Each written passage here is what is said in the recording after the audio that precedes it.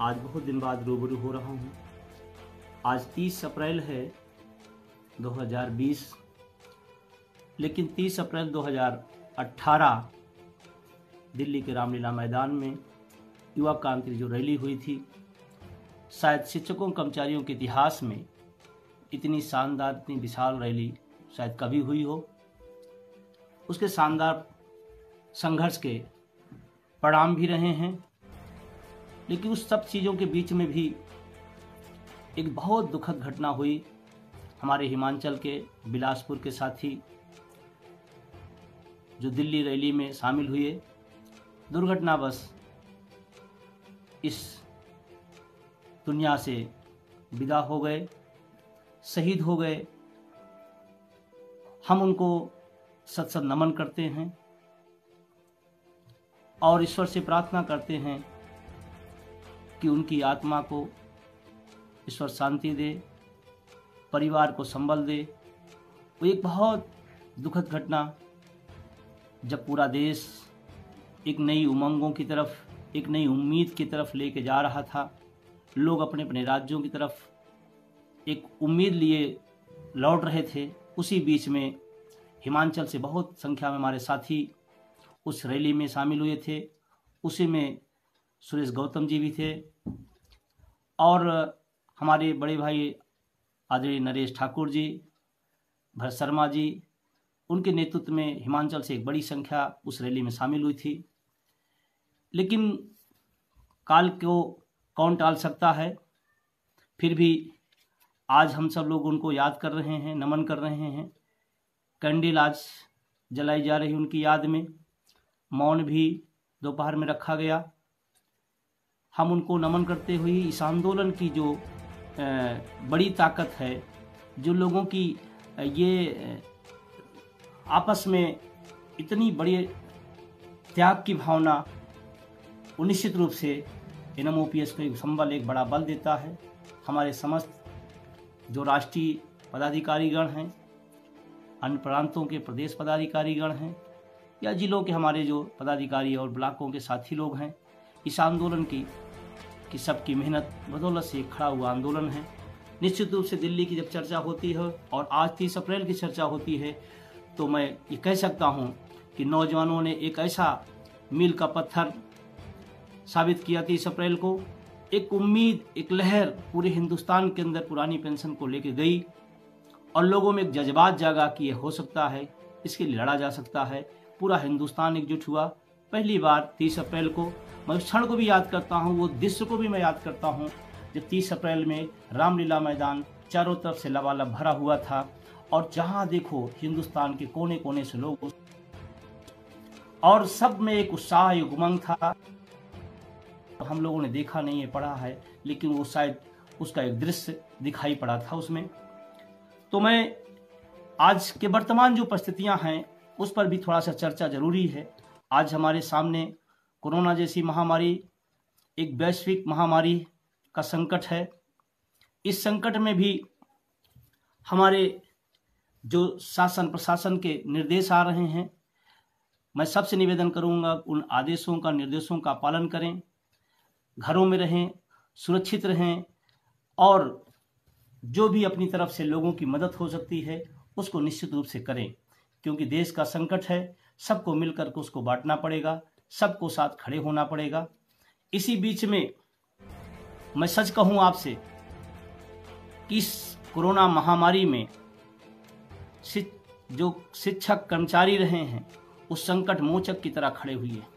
इस बात का कहते हुए मुझे गर्व है मुझे घमंड इस बात का कि तमाम सारी जो तमाम सारी आ, सरकारी कर्मचारियों के बारे में लोगों में धारणाएँ थी मान्यताएँ थी इस कोरोना महामारी के दौर में जिन तरह की भूमिका उन लोगों ने निभाया है निश्चित रूप से आने वाला समय याद रखेगा कि इतने बड़े संकट के समय भी अगर देश के साथ, मानवता के साथ कोई खड़े हुए तो सरकारी कर्मचारी और वो भी तब जब उनके खुद के जान के खतरे हैं। और खतरे ही नहीं हैं। कई जगह तो दुखद घटनाएँ भी इस दौर में हुई हैं। लेकिन मैं उन जो डॉक्टर्स भाई हैं, बहन हैं, नर्स हैं स्वास्थ्यकर्मी हैं, सफ़ाई कर्मचारी हैं, हमारे राजस्व के लोग हैं, विद्युत विभाग के लोग हैं और पुलिस के सब साथी हैं, निश्चित रूप से एक ऐसा अनुपम उदाहरण प्रस्तुत किया है। तमाम सारी मान्यताएँ पुलिस के बारे में, तमाम सारी नकारात्मक बातें हुआ करती थी, लेकिन पुलिस के साथियों ने जिस शिद्दत का, जिस जिस तरह से उन्होंने इस कोरोना के संकट में अपने को प्रस्तुत किया और त्याग किया, वो निश्चित रूप से सैल्यूट के पात्र हैं। डॉक्टर अस्पतालों में बैठा दिन रात ड्यूटी कर रहा है। नर्सेस साथ दे रही हैं। अपने परिवार को, बच्चों को छोड़ छोड़ करके पंद्रह पंद्रह बीस बीस दिन घर नहीं जा पा रहे हैं। ऐसे हालात में उन सब लोगों ने काम किया है। मुझे मुझे तो गर्व होता है। ऐसे समय में जब सारा ताना बाना बिखरा हुआ था, उस ताने बाने को बुनने का काम अगर सबसे ज़्यादा मजबूती से, त्याग और बलिदान से किया है तो सरकार कर्मचारियों ने किया है। और जो कोरोना फाइटर्स हैं, जो योद्धा हैं, मैं उनको सल्यूट करता हूँ, मैं उनको नमन करता हूँ। और नमन करते हुए मैं दो चार लाइनें उनके सम्मान में वो बात कहना चाहता हूँ, जो मेरे दिल से निकली हुई है। कोरोना हाहाकार मचा रही है, मानवता त्राहिमाम त्राहिमाम कर रही है। ऐसे दौर में कौन, ऐसे दौर में कौन रणबंकुरे खड़े हैं? डॉक्टर्स, नर्स, पुलिस स्वास्थ्य कर्मी अपनी जान हथेली पे लिए अड़े हैं। कहते हुए, हमारी जान हमको प्यारी है। कहते हुए, हमारी जान हमको प्यारी है, पर पहले तुम्हें बचाएँगे, या हम कोरोना फाइटर्सों ने ठानी हैं, फाइटर्सों ने ठानी हैं। इस भावना के साथ उन्होंने काम किया है। अनुपम उदाहरण, अद्वितीय अनुकरणीय उदाहरण है। बस तमाम सारी दुखद घटनाएँ, तमाम सारी विपरीत परिस्थितियों में एक बेदाग और यादगार काम करके दिखाया है। लेकिन इसी बीच में मित्रों, एक दुख की बात है कि जब उन्हें हमें प्रोत्साहन देना चाहिए, जब उन्हें सैल्यूट करना चाहिए, जब उन्हें हमें हौसला देना चाहिए, ऐसे समय में एक बात कहते हुए दुख होता है कि जिनके दम पर सारी व्यवस्था चल रही है। मैं नहीं कहना चाहता हूँ कि बहुत सारे लोग काम कर रहे होंगे। हमारे तमाम, हमारे देश के प्रधानमंत्री जी, मुख्यमंत्री जी या तमाम सारे मंत्री और एमपी, एमएलए, अधिकारी सब लोग कर रहे होंगे। लेकिन जिस तरह का, जिस शिद्दत से सरकारी कर्मचारियों ने अपने कर्तव्यों को निर्वहन किया, उन्हें तो प्रोत्साहन राशि मिलनी चाहिए। उन्हें तो और ज़्यादा उत्साहपूर्वक काम करने के लिए सरकार की तरफ़ से, शासन की तरफ़ से उन्हें और ज़्यादा लाभकारी योजनाएँ देनी चाहिए। लेकिन दुर्भाग्य है इस देश का जिन्होंने अपनी जान की कुर्बानी दे दी, जिन्होंने त्याग और बलिदान किया, उनके भत्ते, डीए बहुत सारी चीज़ें ऐसी दौर में हुई हैं जो दुखदाई हैं, जो पीड़ादायक हैं। और मैं तो अगर कहूँ, ये त्याग और बलिदान का उपहास है। शायद सरकारों को इस बारे में विचार करना चाहिए। सरकारी कर्मचारी सब तरह से तैयार है, देश हित में। लेकिन जब एक तरफ़ पैसे का बंडर पार दिखता है, जब एक तरफ़ किसी का माफ़ी नामा होता है तो उस दौर में फिर पीड़ादायक स्थिति उत्पन्न होती है। क्या हम सिर्फ़ इसलिए बने हैं कि हम देते रहें और वो पैसा और धन कहीं और लूटता रहे। ये विचारणी है चिंतनी है। इस पर सारे साथियों को चिंतन करना चाहिए। ऐसा क्यों? क्यों ऐसा किया जा रहा है? इस दौर में भी तमाम परिस्थितियाँ ऐसी उत्पन्न हो रही हैं, जिसके लिए हम सबको एकजुट होना पड़ेगा। और मैं बार बार कहता हूँ, आज पसीना बहा लीजिए, कल आँसू ना बहाना पड़े। ये दौर है। इस दौर में इस बात को याद रखना पड़ेगा। हम हो सकता है कहीं किसी से जुड़े हों, किसी के साथ खड़े हों, लेकिन हम एक चीज़ जानते हैं, ये बात शास्त्रों में भी कहा गया है, पहले आत्मा, फिर परमात्मा। हम अपने पेट के लिए, अपने परिवार के लिए, हम अपने समाज और देश के लिए काम करते हैं। हम भी उसी के अंग हैं, हम कहीं अलग से नहीं हैं, या अलग से आए हुए हैं।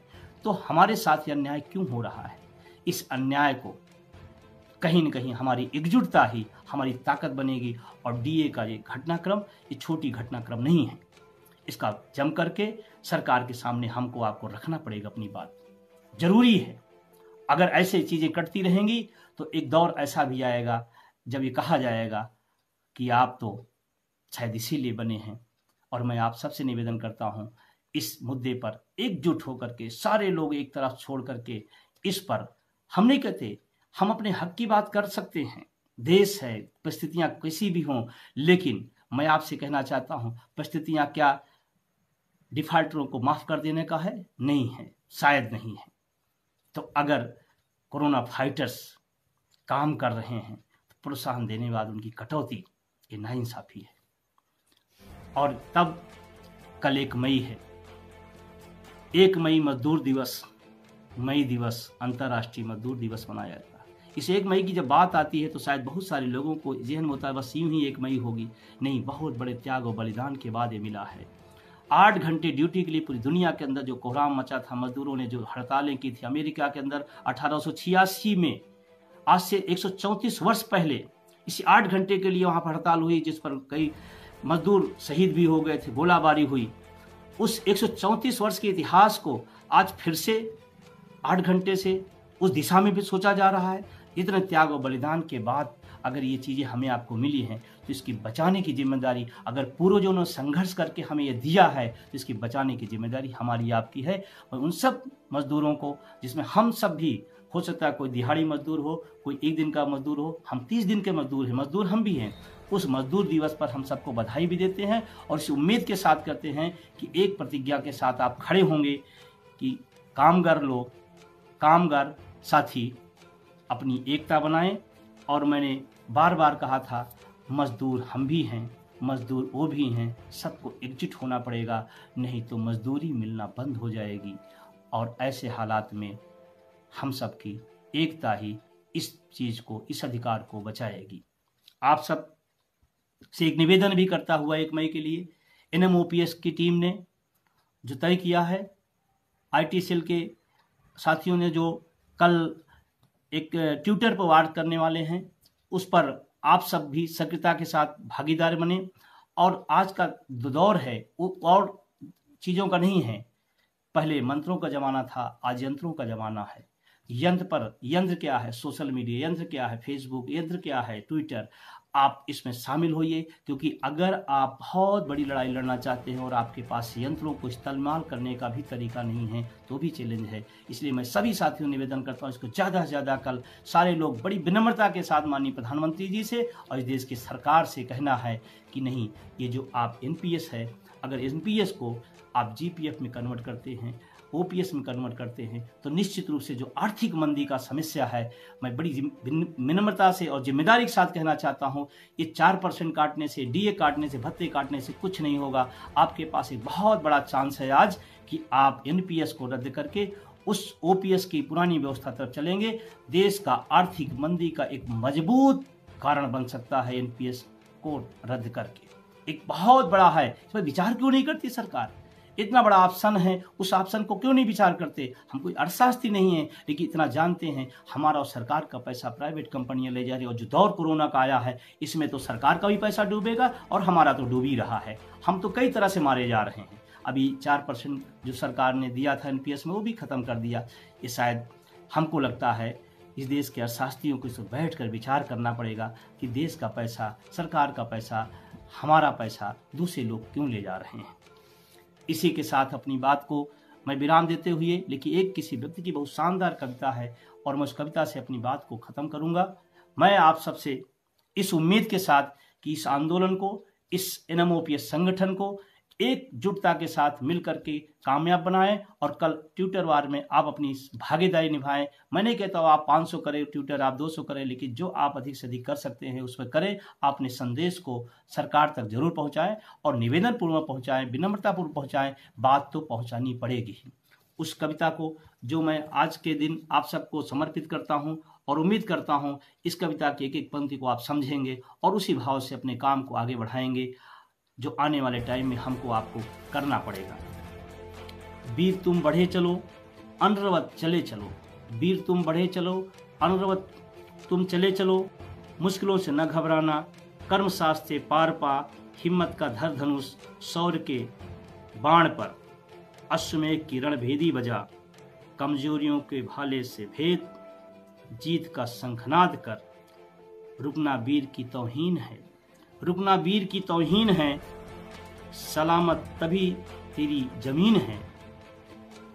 वीर है तो वीरता की पहचान दो, वीर हो तो वीरता की पहचान दो, कष्ट मिले तो मिले, जीवन को मुकाम दो, जीवन को मुकाम दो। मैं सभी लोग से विनम्रतापूर्वक निवेदन करता हूँ, एकजुट होकर के इस डीए भत्ते के खिलाफ आप सबको अपनी बात राय देनी पड़ेगी, एकजुटता दिखानी पड़ेगी और हम किसी से भीख भी नहीं मांग रहे हैं। हम तो वो कह रहे हैं कि हमने करके दिखाया है, हमारा मत काटा जाए। और ऐसे दौर में भी एक ऐसी सूचना आई थी जो बहुत पीड़ादायक थी कि हमारे देश के माननीय सांसदों का भत्ता बढ़ गया और हमारा भत्ता कट गया। क्या माननीय इस कर्मचारी से भी गरीब है? क्या उनके लिए देशभक्ति नहीं है? क्या उनके लिए इस देश के लिए प्रथम नहीं है? क्या मैं तो बड़ी विनम्रतापूर्वक कहता हूँ, अगर इस देश को स्वामी विवेकानंद ने कहा था, जब देश पर कभी आर्थिक संकट आए तो इस देश के राष्ट्रपति, इस देश के प्रधानमंत्री, इस देश के मुख्यमंत्री, इस देश के राज्यपाल और मंत्रियों, तमाम सारे एम पी एम को अपने भत्ते को खुद बंद कर देना चाहिए, कह देना चाहिए, इस सारा कुछ देश के लिए है। ये होता है समर्पण, ये होता है त्याग, और आप अपना बढ़ाएँ और हमारा काटें। ये तो ही बात हुई, किसी का हाफ़ करें, किसी का माफ़ करें और किसी को लुटा दें। शायद ये ठीक नहीं है। लोकतांत्रिक देश है। सबकी आवाज़ सुननी पड़ेगी और सुनाई पड़ेगी कब? जब हम सब एकजुट होकर के आगे बढ़ेंगे।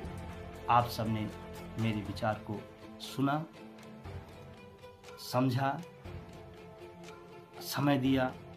मैं देश भर के समस्त कर्मचारियों, शिक्षकों से, अधिकारियों से और एनएमओपीएस परिवार के समस्त लोगों से विनम्रता निवेदन करता हूँ।